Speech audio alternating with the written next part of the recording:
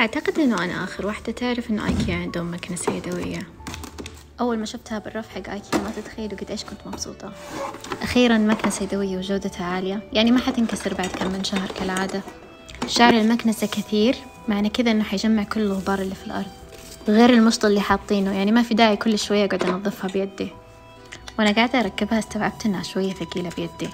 يعني كيف حتكون وأنا قاعدة أكنس؟ تعرفوا إحنا بالعادة نحب يكون بيدنا شي خفيف وينظف بسرعة. بهذه اللحظة استوعبت إنه الصندوق مسكر. يعني المكنسة نفسها لو جيت أبغى أنظفها راح يكون مزعج شوية. تقدروا تقولوا إنه هذا عيب من عيوبها.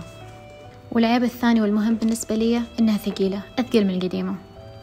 بس ميزتها إنها تنصفط. يعني ما تاخذ حيز ورا الباب وهي معلقة. والأسنان اللي فيها طبعا. عشان كذا أكيد راح أعتمدها.